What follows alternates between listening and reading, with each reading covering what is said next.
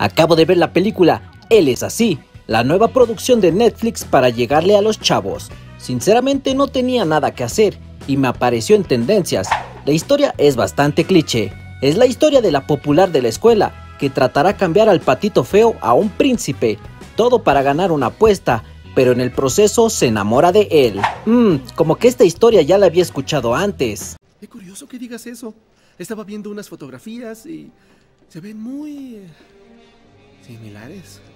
A todo esto hay que agregarle que la protagoniza Alison Ray, la famosa TikToker, y Tanner Buchanan, famoso por interpretar a Robbie en Cobra Kai. Muy bien, premios dobles.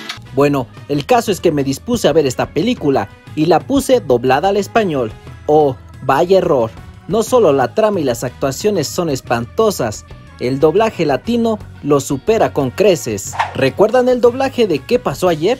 El cual está bastante mexicanizado por así decirlo. Bien, pues parece que el doblaje de esta película lo hicieron las mismas personas, pero con la supervisión de la Rosa de Guadalupe. Hello. Hi. Good times. Espérate, ¿a, ¿a dónde vas? A ver, sí, ya puso la marrana. Es bastante lamentable. Hasta cierto punto da risa tirándole a vergüenza ajena. No sé cómo alguien aprobó este doblaje tan malo y quien haya estado a cargo creo que debería replantear su profesión porque es una verdadera vergoña. La verdad, las cosas como son. Si ustedes tienen tiempo libre y quieren pasar un buen rato, les recomiendo ver esta película, pero no olviden verla doblada al español, o de lo contrario se van a aburrir bastante, porque como mencioné, la historia es un cliché y es muy predictiva. Dime algo que no sepa, tonto. Es más, si ustedes lo prefieren, ni siquiera la vean.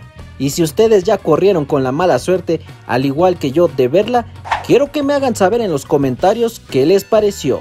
Hasta la próxima.